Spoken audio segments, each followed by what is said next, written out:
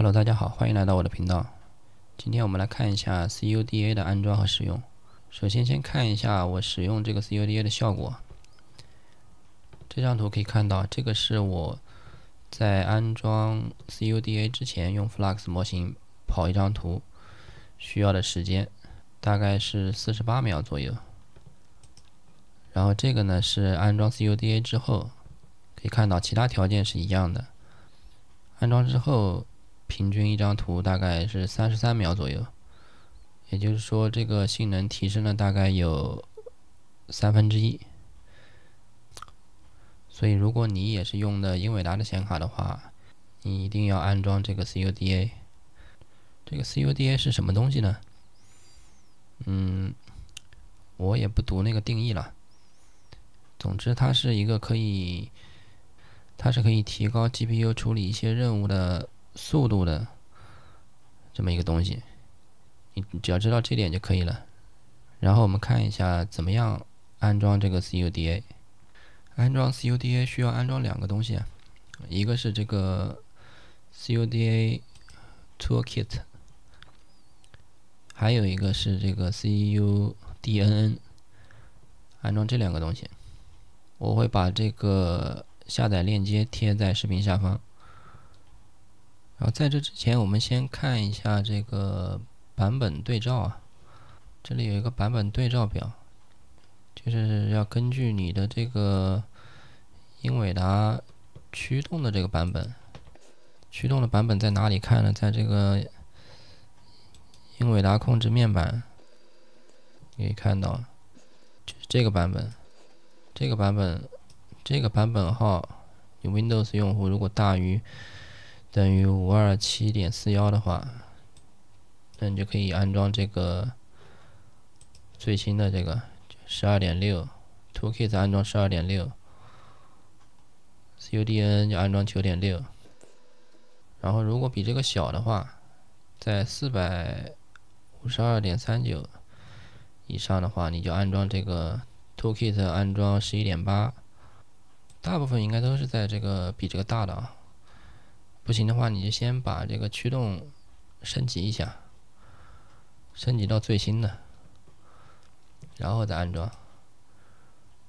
然后我们看一下这个十二点六版本的 Toolkit 怎么安装呢？这里选择这个操作系统，然后选择这个版本。我的话是 Win 十一啊，就选这个十一。安装类型选这个 exe local，然后点击这个 download，然后看一下这个 cudnn 啊，也是一样的，选择你的系统，然后注意一下它这里这个版本啊，它只有两个版本，一个是十和一个是这个 turbo，我们选这个十啊。后面这个 Tab 的话，就需要你需要你手动去这个复制复制啊文件，把那个文件拷到那个目录下面去。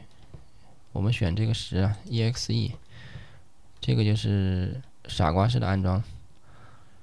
嗯，看到就选点击这个 Download。哦，全部下载好之后，先安装这个 Toolkit，直接双击打开安装包，然后。根据那个提示一步一步往下安装就可以了。安装完 Toolkit，然后再安装这个 CUDN 啊。两个都安装好之后，我们可以验证一下。按 Windows 加 R，输入 CMD，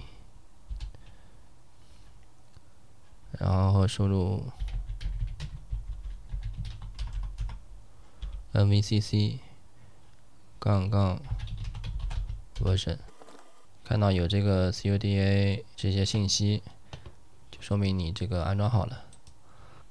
安装完 Toolkit 和 CUDNN 之后，你要注意啊，这个只安装这两个东西，你在使用这个 ComfyUI 啊，或者那个 WebUI，然后使用这个大模型去生成图片的时候，它不会自动去调用你的这个 CUDA 的。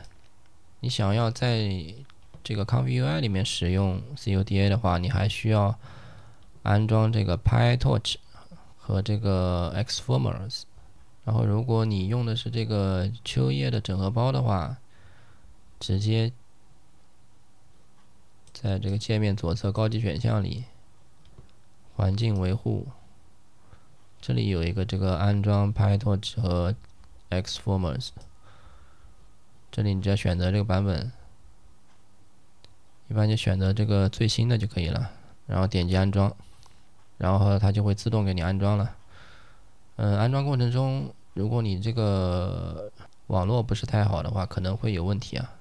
可能会报错，报错也没关系。然后你再关掉，再再重新打开这个启动器，它就会继续安装了。然后安装完之后，你再用那个模型去生成图片的时候，它就会去自动调用你这个 CUDA。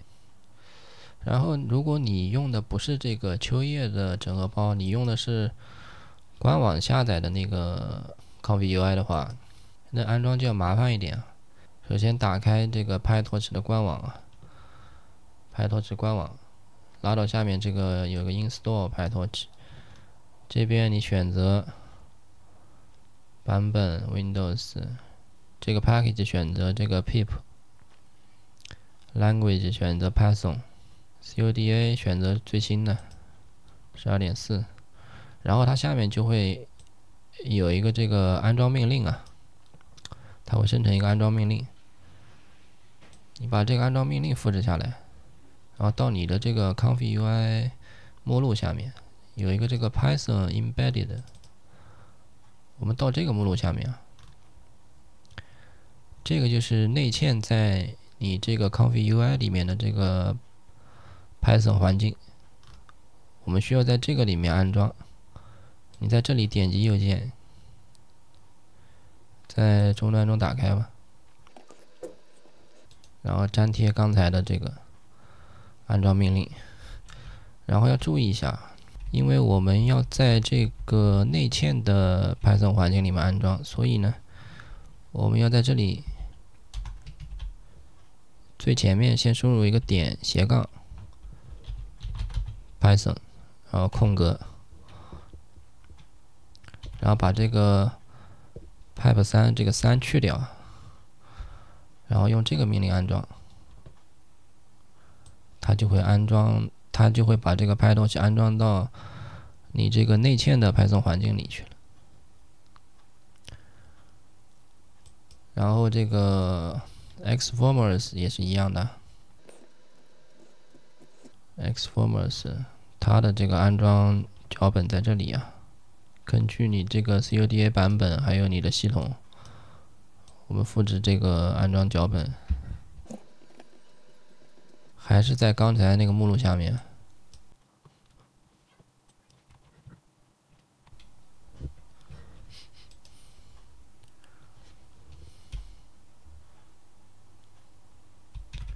还是要在前面加上这个点斜杠 Python，然后空格，再把这个三去掉，然后回车就可以了。